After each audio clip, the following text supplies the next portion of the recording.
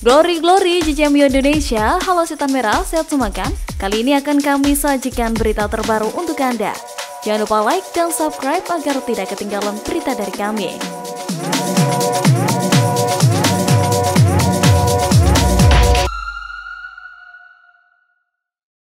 Erik Ten Hag harus berpikir ulang untuk datangkan Frankie De Jong ke Manchester United karena ini. Manchester United menjadikan gelandang Barcelona Frankie de Jong sebagai target utama untuk mengisi posisi lini tengah. Ya, Frankie de Jong diproyeksikan untuk menjadi suksesor Paul Pogba yang menyatakan tidak akan memperpanjang kontraknya bersama Manchester United. Paul Pogba akan berstatus bebas transfer per Juli 2022 dengan PSG dan Juventus saling sikut berebut mengamankan jasa sang gelandang. De Jong sejatinya tetap ingin bertahan bersama Barcelona. Pelatih Barcelona Xavi Hernandez juga masih menginginkan De Jong. Ya, namun kondisi finansial Barcelona membuat pemain berusia 25 tahun tersebut akan dijual jika ada tawaran yang sesuai. Barcelona mematok harga tinggi untuk De Jong dengan nilai 70 juta pounds atau sekitar 1,2 triliun. Wah, banyak sekali ya.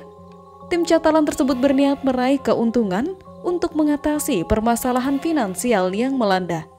Namun kabar terbaru menyebutkan bahwa Manchester United diperkirakan tidak akan menguras bank mereka untuk merebut De Jong. Manchester United sedang mempertimbangkan langkah musim panas untuk gelandang Barcelona Frankie de Jong. Mantan gelandang Liverpool dan Inggris, Barnes, telah meminta Manchester United untuk mendukung manajer masuk Erik Ten Hag di jendela transfer musim panas ini tetapi telah memperingatkan mereka bahwa mereka tidak boleh menghabiskan uang 100 juta pound sterling untuk mengontrak Frankie de Jong. Seperti dilansir Manchester Evening News pekan lalu, Manchester United tertarik pada gelandang Barcelona dan mempertimbangkan langkah 75 juta pound sterling untuk jasanya saja. De Jong bekerja dengan Ten Hag selama di Ajax dan keduanya diketahui telah mempertahankan hubungan yang kuat. Ten Hag telah menghubungi agen pelatih asal Belanda itu dan ingin menambahkannya ke opsi lini tengahnya di Old Trafford. United akan memprioritaskan penambahan gelandang tengah baru musim panas ini dan bisa menandatangani setidaknya dua pemain. Mereka perlu menambahkan gelandang bertahan ke barisan mereka dan pemain seperti De Jong yang suka menguasai bola serta membuat sesuatu terjadi di antara lini. Namun Barnes telah memperingatkan United bahwa jika Barcelona menuntut 100 juta pound sterling untuk tanda tangannya, maka mereka harus menjauhinya. Meskipun Barcelona dilaporkan menaikkan harga Frankie de Jong, Manchester United masih akan mampu membeli pemain, tetapi tidak dengan cara apa pun, kata Barnes kepada bonus Scott Betts. Meskipun jika Barcelona menginginkan 100 juta pound sterling, mungkin tidak. Harganya tidak masuk akal.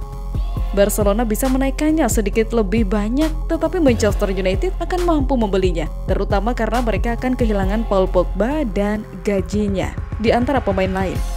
Klub harus mendukung manajer baru akhir cerita, pungkas Barnes. United akan membuat perubahan besar pada skuad musim panas ini dalam upaya untuk pindah dari musim suram bagi klub.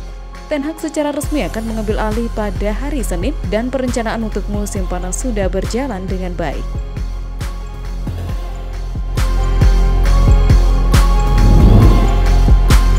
Sekian dulu berita dari kami. Jangan lupa share video ini ke teman-teman semua ya. Sampai jumpa.